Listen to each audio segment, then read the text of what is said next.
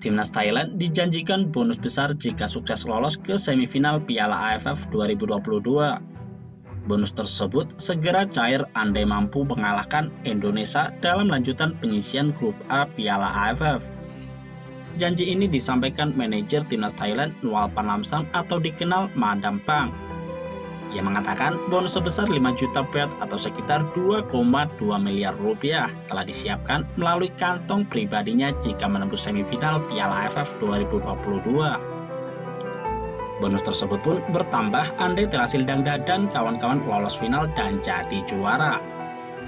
Madam Pang menyadari kekuatan timnas Thailand teredukasi seiring absennya tiga pemain bintang di Piala AFF tahun ini Ketiganya adalah Canatip Songkrasin, Supacok Suracat, dan Supacai Jaider.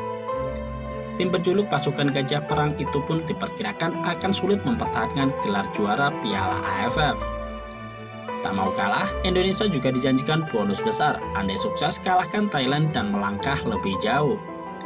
Hal itu dikatakan Ketua Umum PSSI Muhammad Iriawan Kendati belum menentukan besarannya berapa, namun pihaknya tengah memikirkan bonus apabila timnas menang atas Thailand.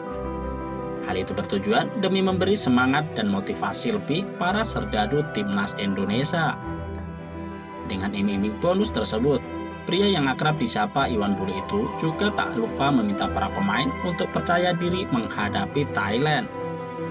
Duel bergengsi Indonesia versus Thailand berlangsung di Stadion Utama Gelora Bung Karno, Jakarta pada Kamis 29 Desember 2022. Rencananya, Big Match ini kick off pukul 16 lebih 30 waktu Indonesia Barat.